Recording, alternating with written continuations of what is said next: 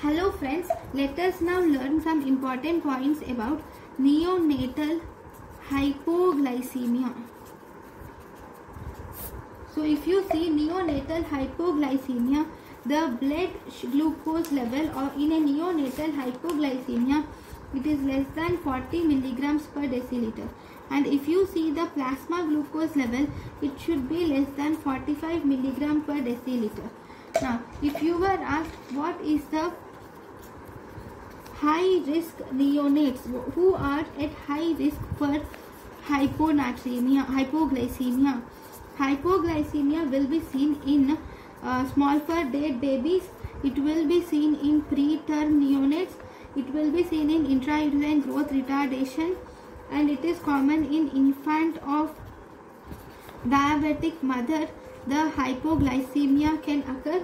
It is also seen in neonatal sepsis and it is seen in neonatal hypothermia also okay and it is also seen in large for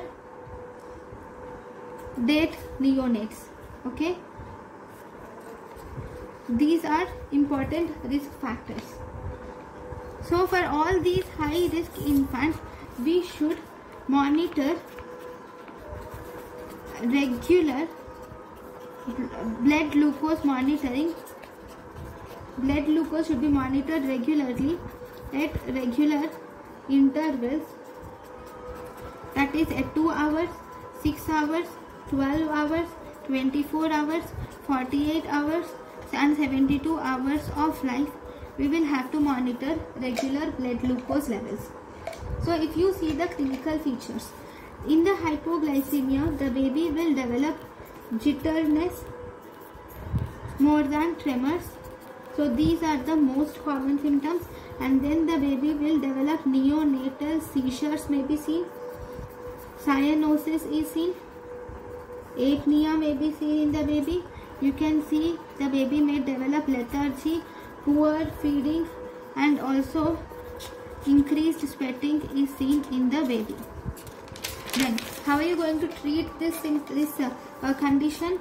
Treatment is dependent upon the symptoms whether the baby is symptomatic or asymptomatic. If the baby is asymptomatic then you should give iv 10% dextrose is given at 2 milliliters per kg stat bolus. And then you should continue give continuously iv fluids should be given to the baby and this should be given at the rate of 6 milligrams per kg per minute. And then you should give you should then monitor the blood glucose. And based on this you you should titrate the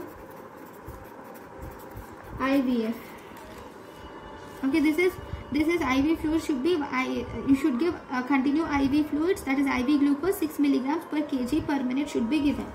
Next.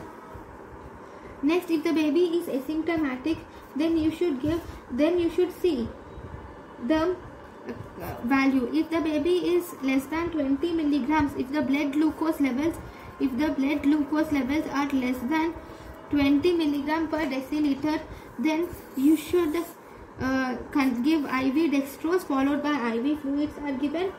Or if the baby's blood glucose level is 20 to 40 milligram per deciliter then you should offer the feed to the baby.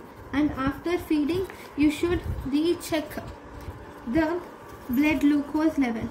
This blood glucose level should be rechecked after half an hour to one hour and now if the blood look after rechecking now the if you see that the blood glucose is low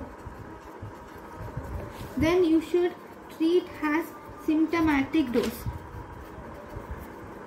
But if the blood glucose level is normal then you should continue frequent feeding. So this is about the hypoglycemia. Thank you